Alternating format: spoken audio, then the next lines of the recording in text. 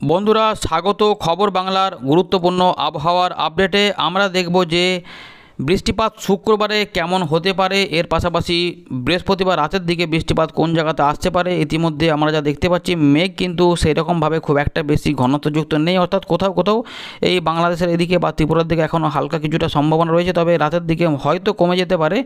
আমরা এটাকে যদি ব্লু মোডে ফেলি, তাহলে দেখুন, দেখতে পাচ্ছেন যে মেঘ কিন্তু খুব একটা বেশি মনে হচ্ছে থাকবে না, কারণ এগুলো কেটে যাওয়ার সম্ভাবনাই রয়েছে। কোথাও কোথাও হয়তো দুপুরের দিকে হয়েছে, হালকা মাঝারি, কোথাও একটু বিক্ষিপ্ত ভারী কিছুটা হয়েছে কোথাও হয়তো কিছুই হয়নি, এরকম রয়েছে। আর আবহাওয়াতে কিন্তু একটু আর্দ্রজনিত অস্বস্তি থাকছে, তাই একটু গরম ভাব থাকছে। আর এই উত্তরবঙ্গের দিকে দেখা যাক, পরবর্তী ক্ষেত্রে বৃষ্টিপাত আসছে কিনা, দক্ষিণবঙ্গে কোনো জায়গাতে বৃষ্টিপাত আসছে কিনা, আমরা নজর রাখব।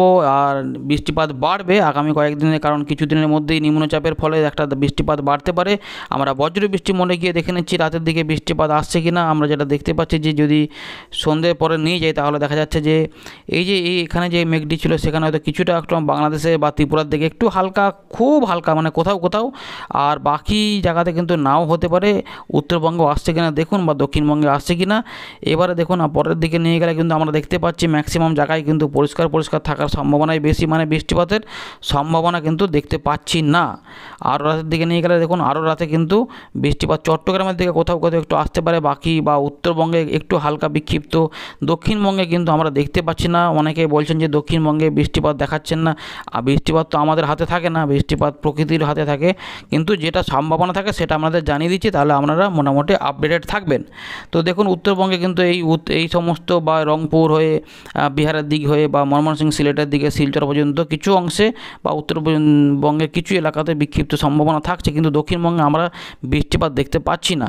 এবারে শুক্রবারে দেখুন সকাল থেকে কিন্তু ওই যদি কিছু বৃষ্টিপাত হয় তো উপরের দিকেই হবে, দক্ষিণবঙ্গে যা হয় সবই ওই দুপুর থেকে বিকেলের মধ্যে বা সন্ধ্যের মধ্যেই হয়। তো আমরা দেখুন আস্তে আস্তে কী হচ্ছে না, কিছুটা বিক্ষিপ্ত ভারী বৃষ্টিপাত শুক্রবার হতে পারে, সেটা কিন্তু এই শিলচর বা এই দিকটাতে দেখা দেখা যাচ্ছে, কিন্তু দক্ষিণবঙ্গে দেখুন মেঘ প্রায় হয়তো আংশিক মেঘ এলাকা কোথাও একটু উড়ে এসে মেঘে বৃষ্টি জুড়ে বসল সেই রকম হয়তো হতেও পারে, কিন্তু একদম যে সেই খুব বৃষ্টিপাত হবে সেরকম নয়, যেমন দেখা যাচ্ছে যে, এই উপকূলবর্তী কিছু এলাকা মানে দুই চব্বিশ পরগনা বা হুগলি, হাওড়া কিছু এলাকা বা এদিকে কলকাতা, এই দিকটাতে কিছুটা সম্ভাবনা বা পশ্চিম, পূর্ব মেদিনীপুর, পশ্চিম মেদিনীপুরে কিছু এলাকা এরকম একটা সম্ভাবনা রয়েছে এবং উত্তরবঙ্গে বা বিশেষ করে এই আসাম, মেঘালয়ের দিকে এই এলাকাতে কিন্তু আবার ভালো বৃষ্টিপাত একটা আসতে পারে, এরকম সম্ভাবনা রয়েছে, উড়িষ্যার দিকে কিছুটা থাকতে পারে।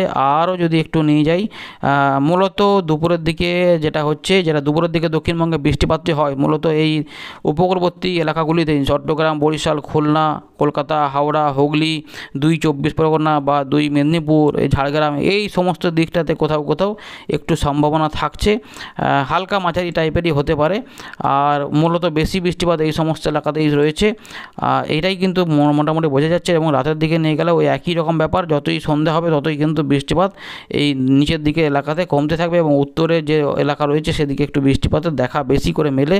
এটাই কিন্তু আমরা দেখতে পাই। আর এটাকে কিন্তু আমরা বাড়াচ্ছি না, কারণ আমরা দুদিনের আপডেট দেখে নিলাম। বৃহস্পতিবার রাত থেকে শুক্রবার পর্যন্ত এমন রয়েছে। আর নিম্নচাপ যখন আসবে, বা ওই একুশ বাইশ তারিখ করে কিন্তু এই এই দিকে সতর্কতা দিয়েছে আলিপুর আবহাওয়া সঙ্গে বজ্র বিদ্যুতের সতর্কতা মানে ওই বজ্র বিদ্যুৎ সহ বৃষ্টিপাতের একটা সম্ভাবনা থাকবে। এইভাবেই কিন্তু রয়েছে দেখুন এই একুশ বাইশ তারিখ করে কিন্তু এই সমস্ত এলাকাতে বৃষ্টিপাত বেড়ে যাবে। এবং উড়িষ্যার দিকেও ভালো বৃষ্টিপাত থাকবে, তাই সতর্কতা দিয়েছে। এই যে এরকম কিন্তু একটা পরিবেশ পাওয়া যাবে। দুপুরের দিকে দেখুন, এই যে ভালো বৃষ্টিপাত মানে হালকা মাঝারি বিক্ষিপ্ত ভারী বৃষ্টিপাতের একটা প্রবল সম্ভাবনা কিন্তু রয়েছে। মানে বর্ষার একটা যে পরিবেশ, সেটা কিন্তু ভারত জুড়েই কিন্তু মোটামুটি দেখা যাচ্ছে এলাকা জুড়ে এরকম একটা সম্ভাবনা রয়েছে। তো এই ছিল লেটেস্ট আপডেট পরবর্তী আপডেটটা দেখা হচ্ছে।